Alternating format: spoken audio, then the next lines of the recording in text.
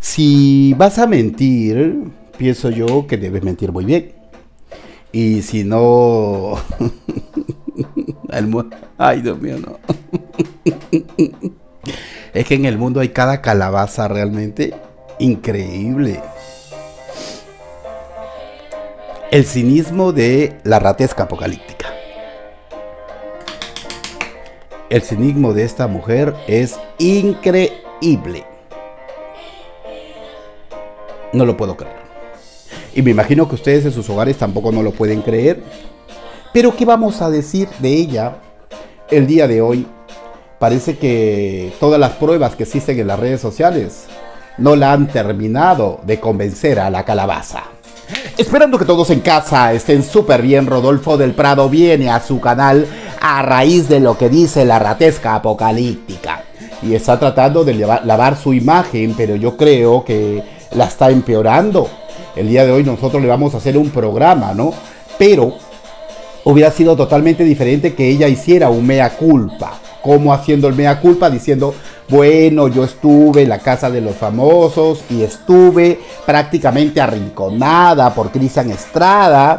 Y como estuve arrinconada por Cristian Estrada, ahora que ya salí, pues me di cuenta la clase de persona que es. Cometí un gran error al haber tenido algo con este tipo y he hecho un mea culpa, pero ahora me he dado una nueva oportunidad. Quiero conocer a un hombre que me trató como una dama, que me trató como una señorita en la casa y por ese mismo motivo estoy conociendo a Clovis y no quiero hablar del pasado porque no me beneficia en nada y no me ayuda en nada y de esa manera pues yo todos tenemos derecho a equivocarnos, pero no. Ella dijo todo lo contrario y como dijo todo lo contrario empeora la situación. Cuestión que nosotros no le hubiéramos hecho un programa como se lo vamos a hacer ahorita.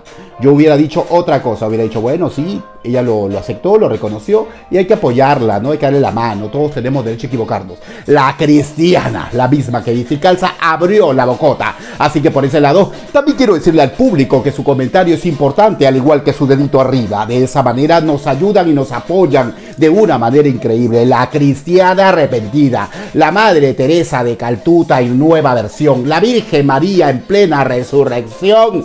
Ella sale a hablar una serie de cosas que nosotros de verdad cuando lo escuchamos no lo podemos creer. Mientras tanto, Pamela Noa, dentro de su programa, se burla de ella como se le da la gana. Y será un motivo para hacer un programa con respecto al tema.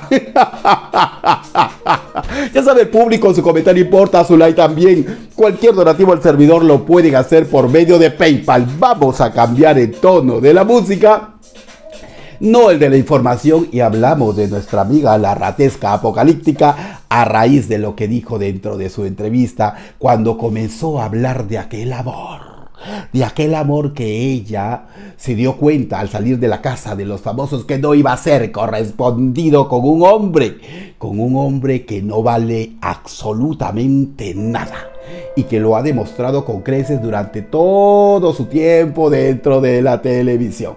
Y que solamente una loca le podría hacer caso a este tipo, ¿no? Y una de esas locas es la ratesca apocalíptica. Así que vamos a hablar del tema. Aleska Génesis ha generado un escándalo a raíz de sus declaraciones en la entrevista que tuvo con Molusco. Según ella, nos dijo a todo el mundo que nunca tuvo intimidad con Cristian Estrada. Sí, ella nos contó a todo el mundo que cuando estuvo en el cuarto de la suite presidencial, dice que ella se puso a llorar. ¡Ay, Dios santo! ¡Qué virginal terminó siendo esta tipa! Nada le costaba al estilo de la Cenicienta bajar por la escalera de Caracoli hasta que se le salga el zapato y el príncipe de color azul vaya a colocarle el zapato a la Cenicienta. En este caso, se podría decir la pezuñeta. por cínica y por mentirosa. Entonces, yo me pregunto, ¿no? Porque si ella dice que era la llorona en ese momento cuando el otro la tenía bien enlazada entre sus brazos, ¿Por qué no lloró cuando el otro la comenzó a chupetear? Sí, ¿por qué no lloró cuando Cristian Estrada la estaba chupeteando? ¿Por qué no lloró cuando ésta se metió media choborra en el jacuzzi? ¿Por qué no lloró cuando Cristian Estrada le metió la, la lengua hasta la garganta? ¿Y por qué no lloró cuando durmió con él agarrándole el pajarraco y agarrándole la chuchomeconcia. O sea, de la noche a la mañana esta se volvió bien virgen. Ay, no lo puedo creer. Ay, sus padres deben estar muy orgullosas de tener una hija tan decente dentro de la sociedad americana. Claro, mamacita. Ay, Dios mío, esta es una conchuda de esas que así nomás, así nomás ya no hay. Según la ratesca apocalíptica, dice que la producción tiene la culpa como si ella fuera virgen y como si ella tuviera 16 años, cuando realmente esta mujer es una semejante viejonaza que tiene como más de 30 años. Si no me equivoco, tiene 33. Ella se cree la quinceañera, Adela Noriega dentro de la telenovela, la quinceañera, o de repente también Talía dentro de la telenovela. Ay, Dios mío, la quinceañera. Yo no sé por qué me siento ahí tan diferente que no quiero nada con la gente. ¿Qué será? Ay, Dios santo, yo creo que Adela Norigas fue tocada indebidamente, creo, en la telenovela, ¿no? Por el tipo ese que la acosaba. En este caso, ella no, ella no, ella no fue tocada, ella fue tocada bajo sus consentimientos, según lo que nosotros vimos en las imágenes que propaló Telemundo dentro de toda la historia. Yo digo, ¿no? Según lo que dice la mala lengua, esta ha tenido como 50 mil maridos. Y una mujer acosada, acusada de prostituta, con pruebas y todo, según Miguel Maguad, Ustedes creían que, ustedes creen que esta no se acostó con el otro. ¡Ay, por favor! A otro perro con ese hueso. Yo me uno a lo que dice Pamela Noa dentro de su programa. A otro perro con ese hueso y el molusco la tenía al frente, pero el molusco le decía, ¡ay, sí, la carne pide, la carne pide! Y la otra se hacía la original. Entonces, ¿qué es lo que sucede? ¿Por qué motivo esta no se hizo de, Cristian Estrada según lo que yo pienso? Bueno, creo que tiene algo de dignidad, ¿no? Seguramente que al salir de la casa se dio contra la pared cuando vio las imágenes del paparazzi que captó a su hermana Michelle Roxana saliendo de un restaurante con este tipejo. Y seguramente porque dicen que también salió de un hotel. Entonces la otra le entró la dignidad. Y seguramente que le dijo a la hermana, nosotros no vamos a compartir el mismo marido, no nos vamos a comer el mismo pajarraco. Y por ese mismo motivo miro a Clavis. Ella dejó al príncipe de color azul dejó al príncipe de color azul para irse con el premio consuelo de la casa de los famosos. ¿Quién es? El ojiazul, o sea, Clovis, el mismo que cuando ella estuvo dentro de la casa dijo que su familia venía de sangre azul sin saber cuál es el significado de tener sangre azul. Ella culpa a la producción del supuesto amor. Sí, supuestamente la producción tiene la culpa de que ella se ilusione con el patán Cristian Estrada. Pero hay una gran incongruencia de todas las cosas que ella comienza a decir. Primero dice que ella no tiene nada que explicarle al público. Entonces, si no tienes nada que explicarle al público, es bien fácil. A la hora que te hace la pregunta, dices, bueno, yo no tengo nada que decir, asunto cerrado, se acabó la situación y como se acabó todo, yo no voy a decir nada con respecto al tema de mi vida personal. Pero ella, como es como el chavo, ella comenzó a decir que no tenía nada que explicarle al público, pero comenzó a explicarle al público absolutamente todo. pero hay otra contra contradicción más dentro de lo que ella comienza a narrar frente al molusco. Dice que ella tuvo atracción cuando da las explicaciones dentro de la semana que estuvo Cristian Estrada. Ella se sintió atraída por el patán. Pero cómo fue la situación, porque nosotros tenemos que recordar lo que dijo en el pasado. Cuando en algún momento, si no me equivoco, fue Lupillo Rivera, le preguntó cómo fue el clic entre Cristian Estrada y ella. Ella que contó, ¿recuerdan ustedes lo que contó? Yo sí lo recuerdo, como si tuviera memoria de elefante.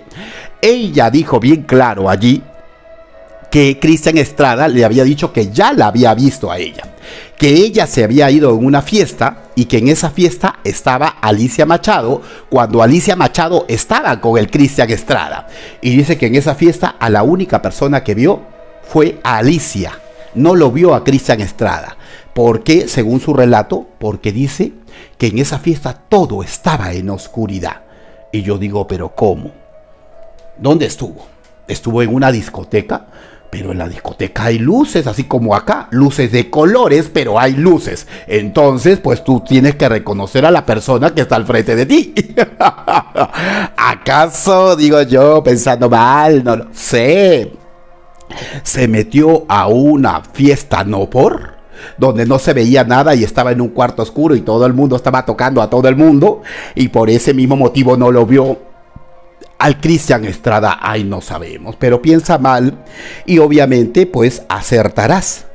Ella estuvo prácticamente una semana y en una semana, según ella lo que relató allí, es que un día antes de que, de que Cristian Estrada sea eliminado, fue donde le contó toda esta historia. Fue la primera vez que ellos conversaron. No fue una semana en la cuales ellos estuvieron entablando, conversando, conociéndose. No, no, no, no, no. En la primera semana ella se miró con él y un día antes de que él salga, ella habló con él allí y allí recordaron la bendita fiesta.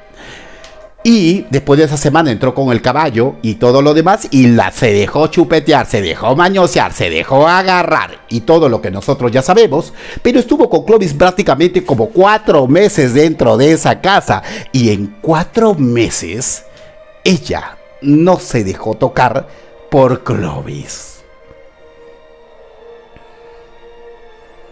Entonces nos preguntamos, ¿esta realmente es decente?